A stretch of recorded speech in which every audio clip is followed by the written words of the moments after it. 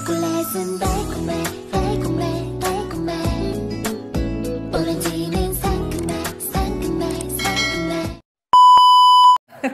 Ah, Candy Lapay Vlogs. Ayan, shoutout kay ano, Shout Madam out po Candy. ma'am. Oo. Ayan. Oh, yan, solid ano Solid yan. kalingap yan. Solid kalingap po Oo. yan. Yahoo, Shout out. Idol, Kuya July, Paunil, at Sir RP Max Vlogs. Ayan, shoutout. Mega mega love shout out. Yan. Shout out po ma'am. Ayun. Ayan. Ayun. All correct. Kay Candy Lapay Vlogs. Shout out kay Candy Lapay Vlogs, mga kaibigan. Baka pwede makiusap na puntahan, dalawin ang channel po ni Candy Lapay Vlogs. Uh, in keeping with traditions of the uh, commission, the COMELEC chairman says a few words about the uh, senator who topped the uh, uh, senatorial election. So, before I read the certificate of proclamation, I have the honor to introduce to you our next senator who topped the 2022 senatorial election, garnering more than 26 million votes.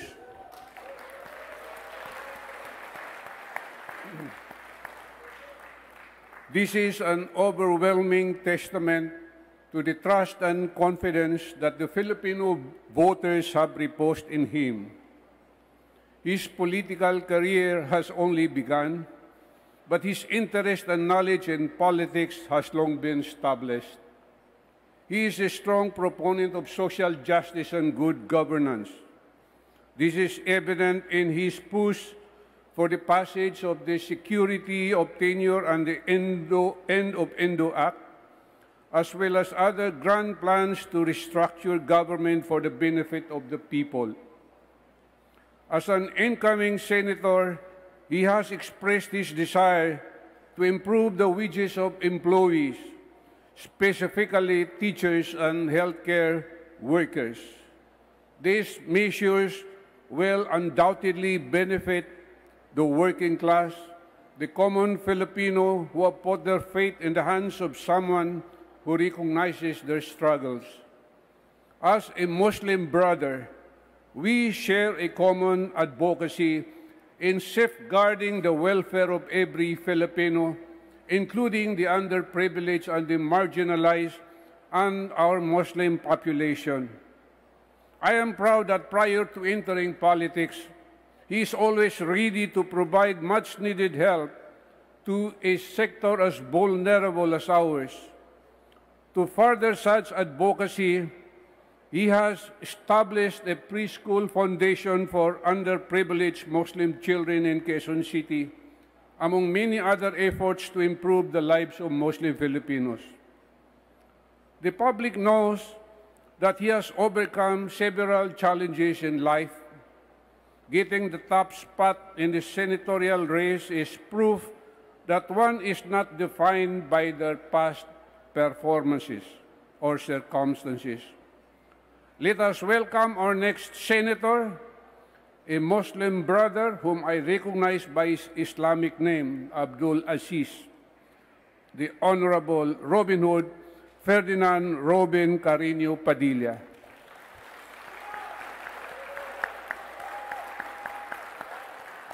Now I read his certificate of proclamation, Republic of the Philippines, Commission on Elections, Intramuros, Manila, National Board of Canvassers.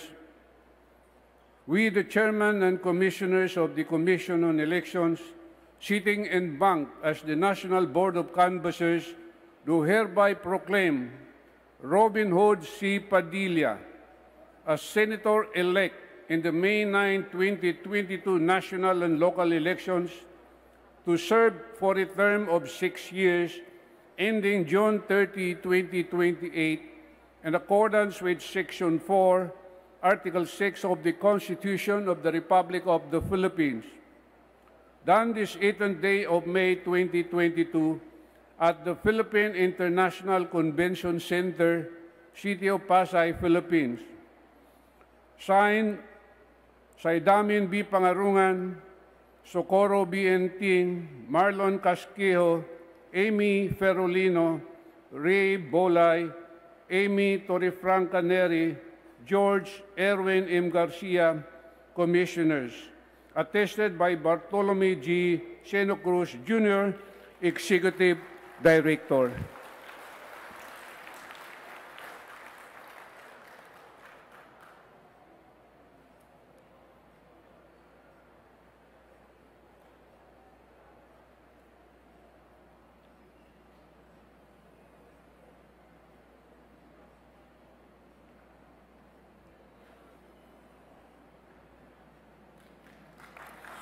Now may I invite the family and friends of Senator Robin Padilla to join him on stage for the photo opportunity.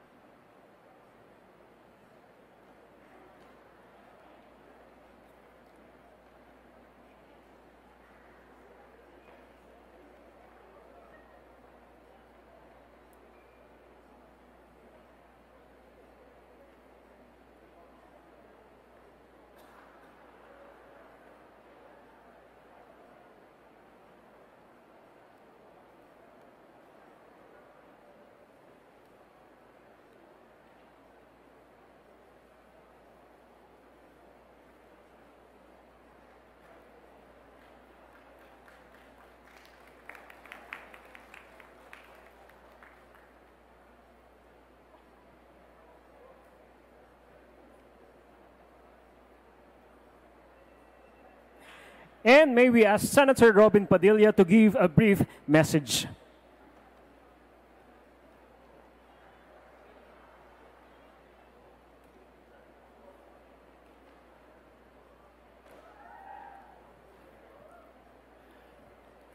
أعوذ بالله من الشيطان الرجيم بسم الله الرحمن الرحيم الحمد لله رب العالمين بسم الله والصلاة والسلام على رسول الله Assalamualaikum warahmatullahi wabarakatuh. Isang pagbati po ng pagpapala, biyaya at awa ng Panginoong Diyos sa inyong lahat. Mga mahal kong kababayan, ako po ay uh, nagpapasalamat unang-una sa Panginoong Allah, pangalawa po sa COMELEC, sa lahat po ng bumubuo sa ating pong mga commissioner, sa atin pong mga magigiting na kalalakihan at sa mga magagandang dalaga, ginang, sa lahat po ng kasundaluhan, sa mga pulis at sa mga bayaning guro. Isa pong karangalan para sa akin ang mapabilang po sa isang halalan na nagpapakita ng isang napakalinis na halalan. Maraming maraming salamat po. Ang akin pong pagkapanalo ay isa pong simbolo ng pagkakaisa ng mga Muslim at Kristiyano. Sa loob po ng matagal na panahon, halos umabot po ang tatlumpong taon, wala pong Muslim na naging senador na. Sa akin pong mga pinuntahang, mga sortie, rally, ako po'y nakiusap sa ating mga kababayan, sa inyo, na sana mabigyan niyo po ng pagkakataon ang inyong mga kapatid na muling magkaroon ng representasyon sa Senado. At inyo pong binigyan ng pagkakataon ang inyong mga kapatid. Ako po'y nagpapasalamat sa lahat po ng mga katoliko, sa lahat po ng mga pari, sa lahat po ng mga madre, at ako din po'y nagpapasalamat sa kapatiran ng Iglesia ni Cristo, kay Ka Eduardo Manalo, sa Kingdom of Jesus Christ, kay Apollo, kay Pastor Apollo Kibuloy, at siyempre po kay Brother Mike Bilarde ng kapatiran ng El Shaddai. Lahat po ito, lahat po kayo, ipinakita po ninyo ang pagbubuklod natin bilang mga Pilipino. At inyo pong itinaas ang mga kapatid nyo pong mga Muslim sa matagal ng panahon ay humihingi ng pansin. Ako po'y buong pusong nagpapasalamat sa inyo. Ngayon naman po, ako po'y kumakatok sa puso ng aking mga kapatid na bagong halal at siyempre po sa mga nakaupo ngayon, katulad po ng aking mahal na kaibigan na si Senator Bongo. Idol, uh, ikayo, ikayo po ang nagdala sa akin dito. At siyempre po kay mahal na Pangulong Rodrigo Roa Duterte, sa akin pong pamilya, sa akin pong asawa, isa lang po ang asawa ko, si Mariel lang po. At sa akin pong mga kapatid, sa akin pong mga kaibigan, Kuya Ipe, Salvador, ang tanging ko pong hiling ngayon, yung pong 26 plus million na mga bumoto po sa akin, naniniwala po sila sa aking plataforma. At yun po ang reforma sa ating saligang batas. Hinihingi ko po sa inyo, hinihingi ko po sa inyo mga kapatid ko sa Senado, atin pong bigyan ng pagkakataon ang reforma. Hinihingi na po ito. Narinig ko po ang napakadaming patungkol sa sweldo, patungkol sa trabaho, patungkol sa edukasyon.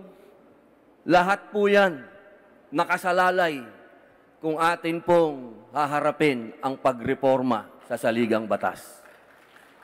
Bilang panghuling salita po, dahil dalawang minuto lang to, gusto ko pong malaman nyo na it's late in the evening. I feel wonderful tonight. Maraming salamat po. Thank you very much, Senator Robin Padilla. And again, congratulations to the newly elected senators of the Republic of the Philippines. Now that all our senators-elect have been proclaimed, may I call on Attorney Consuelo Bidiola, Commission Secretary, to facilitate the carrying out of the remaining agenda of the National Board of Canvassers. Please rise for the singing of the Hymn. na-elect as chairperson of the Strategic Communication Committee to the Multi-Sectoral Advisory Board si Robin Padilla. Isa itong komite para sa Philippine Army. So hindi masasabing walang experience si Robin Padilla sa mga sangay ng gobyerno. Lagpas isang taon siyang nanilbihan dito at kinailangan niyang bakantehin ang posisyon after niyang mag-file ng COC para sa pagkasenador. At isa pa, marami na ding natulungan si Robin tulad na lamang ng 5 million pesos donation niya para sa Marawi victims matapos magkaroon ng Ito ay mga kaibigan ko. Tigilan nyo nakakapanlait kay Robin at pangmamaliit sa kanya. Hindi niyo pa ba napansin lahat ng mga inapi, lahat ng mga dinudurog ninyo dahil sa kayabangan ninyo, yun ang inaangat. Ako humanga ako kay Robin Padilla. Pagdating sa OFW, alam mo, kinontak ako niyan. At uh, napakamapag-umbaba para magtanong kung paano ang procedure. Hindi man lang yan naghain ng kanya kung ano yung pananaw niya. He asked.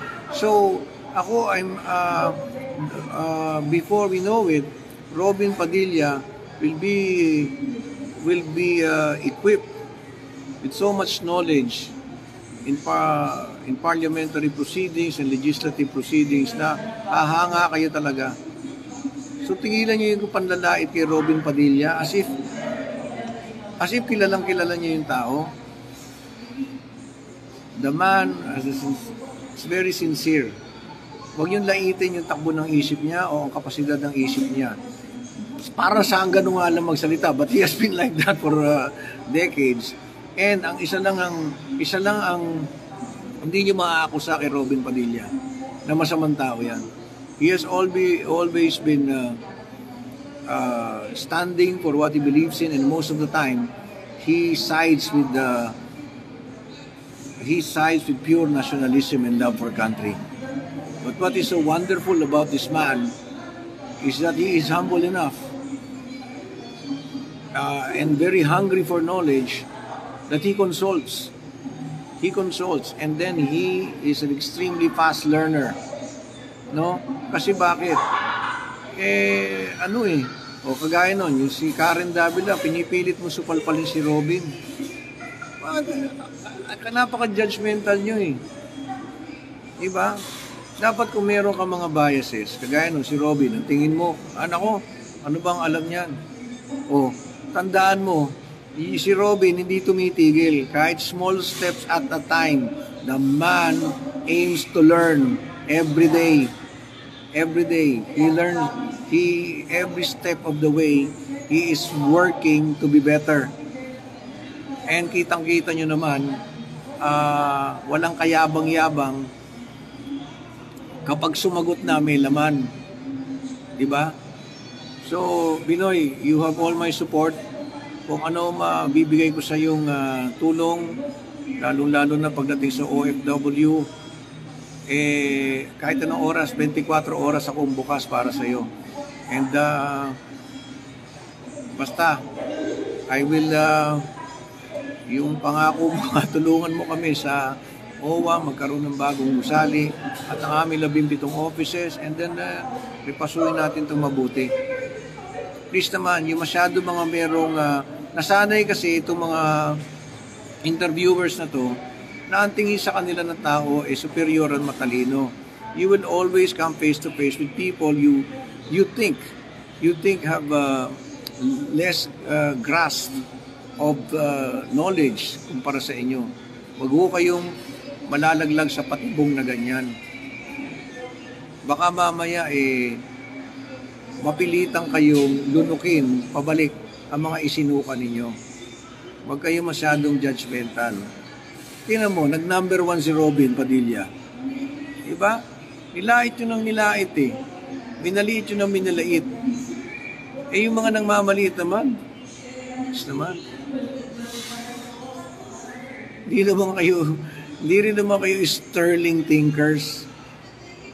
So please lang, ah, magbago kayo ng ang hilig-hilig yung ano, eh, magre-recommenda ng tamang gawain eh. Pero kapag ka kayo na ang nakakaharap, facing the challenge to do what you recommend, ay bigla kayo nagwa 180 degrees. Oh, ayaw nyo ng judgmental, pero hinusgaan nyo na agad si Robin and you did not even give him the chance na ipakita kung ano kaya niya. And uh, he is blazingly fast pagdating sa pangunawa, sa unawa. Kaya nakita mo magpaliwanag ng federal system, you know what advantage he has over most of you? He talks the language of the country. Alam niya kung ano yung salita na nararapat gamitin para ma- mabilis siyang maunawaan. Eh, eh ang talent niya yan. Yan ang hindi niya mahabol. So, ah, stop belittling him kasi mare-resbakan lang kayo ng karma. Let us uh, support the good heart of uh, this man and he will be very, very good for this country. I am talking about Senator Robin Padilla.